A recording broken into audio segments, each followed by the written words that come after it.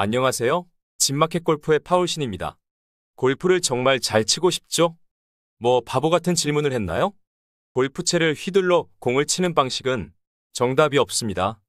골퍼들마다 모두 자기 방식이 있습니다. 그러나 우리가 꼭 알아야 하는 건 기본기가 제대로 갖춰지지 않으면 공을 잘 치기 어렵다는 것이죠. 네 가지 기본, 그립, 얼라인먼트, 스탠스, 자세, 영어 앞글자로 줄여서 가스프라고 합니다.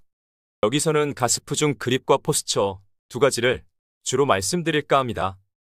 그립에서 가장 중요한 핵심은 왼손 마지막 세 손가락과 오른손 가운데 두 손가락으로 그립에 힘을 가하는 것이죠. 다른 모든 손가락은 힘을 빼야 합니다. 기본이지만 모르는 골퍼가 참 많은 것 같습니다. 누구도 예외가 없어요.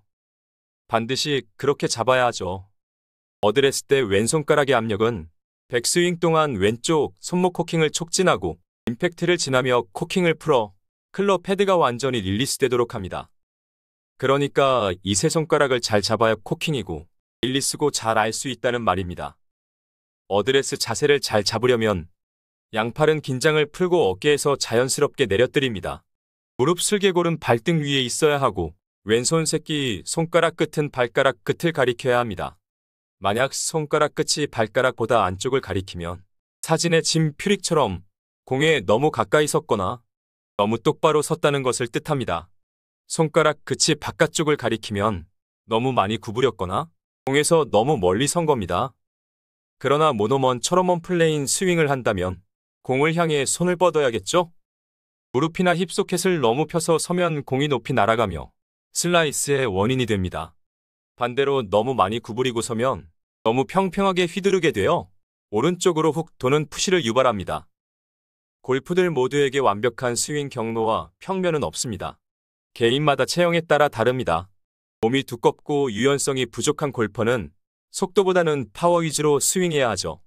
upright 스윙을 피하고 힘과 정확도를 극대화하기 위해 손을 몸에서 최대한 멀리 뻗은 상태로 back top에서 어깨선 바로 아래에 손을 위치시켜 손을 어깨 아래로 낮게 유지해야 flat하게 몸 주위로 클럽을 스윙하기 쉽습니다. 팔이 길고 날씬하거나 키가 큰 골퍼는 힘보다는 유연성과 속도를 이용하는 것이 더 좋습니다. back top에서 손을 높게 upright하게 스윙해야 합니다. 평균 체격의 골퍼는 속도와 힘의 조합을 잘 이용해야 합니다. 중간 높이로 스윙하는 것이 좋은데요.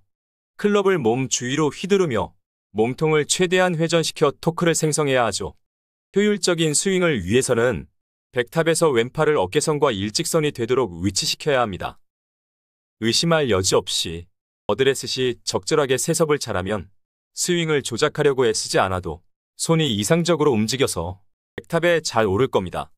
셋업을 올바르게 잘하면 다소 허술하게 스윙하더라도 멋진 샷을 치게 되지만 셋업을 잘못하면 완벽하게 스윙하더라도 샷의 결과는 형편없을 겁니다.